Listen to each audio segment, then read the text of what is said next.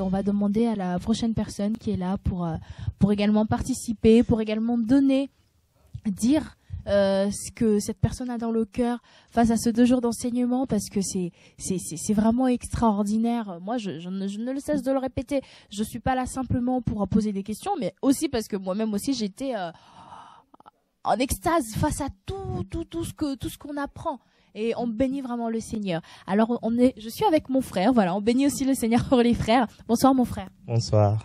Alors vous êtes là depuis hier. On Depuis se hier. tutoie, on va se Mhm, tutoyer, ça, va être plus simple. Alors qu'est-ce que tu as à dire face à, à ce message? Je repose la même question parce que je sais que chacun a une révélation différente. Ben, je vais dire qu'on a eu du lourd pendant deux jours, Amen. Que les écailles sont encore tombées des yeux, qu'on a appris que Jésus-Christ est vraiment venu révéler le nom du Père.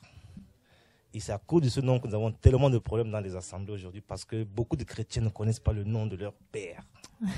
Et là, aujourd'hui, on nous enseigne que c'est Jésus-Christ qui est le Père, le Père véritable. Donc, moi, personnellement, mon cœur brûlait. J'étais tellement excité et je vois qu'on a tellement voyagé aujourd'hui dans la parole. Donc maintenant, on pourra soutenir avec les versets bibliques pour ceux qui veulent apprendre, pour ceux qui veulent avancer et leur dire que c'est Jésus, le Dieu véritable, Amen. qu'il ne faut pas chercher un autre. C'est lui le Père.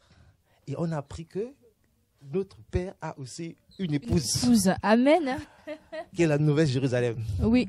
Et on a appris que notre Père n'est pas stérile, il a des enfants. Amen. il a des enfants et beaucoup d'enfants.